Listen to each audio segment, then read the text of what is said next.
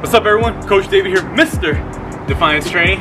So Ali and I, today we are training legs and oftentimes at the gym, I always see people struggling to put on their knee sleeves, especially when they start getting sweaty, it starts being uh, starts to be a real pain in the ass to get these on.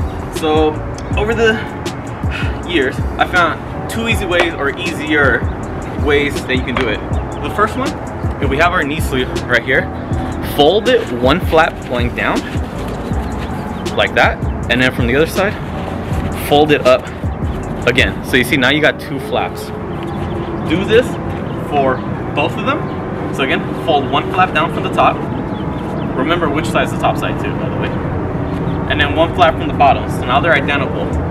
First way you can do it is now grab underneath one of the flaps like this and then pull it up one hard pull all the way up to the center of your knee. So right here, ready, one hard pull, let's go. There we go. And then from right there, unroll them. There we go, and then roll the other flap down, okay? Now, the second one, you're gonna start off the same way, and this will be ideal if you have weightlifting straps. You know, weightlifting strap comes in loop, just separate them like that. Slide them in there. Uh, get, that's one, and then get the second one in there.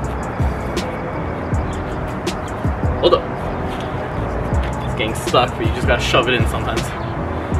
Right on? no comment. Alright, so now that you got both of them, you can just grab both ends of it like this. And sometimes this will be easier. Just grab, and from right here, one hard pull. Boom. From right there, slide them out. Slide them out, and then unfold.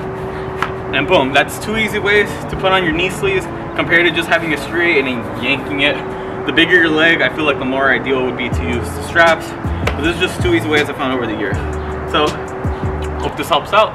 If you haven't already, please follow me on Instagram. Link will be down in the description below. Please like this video, subscribe to the channel, and we'll catch you all next time.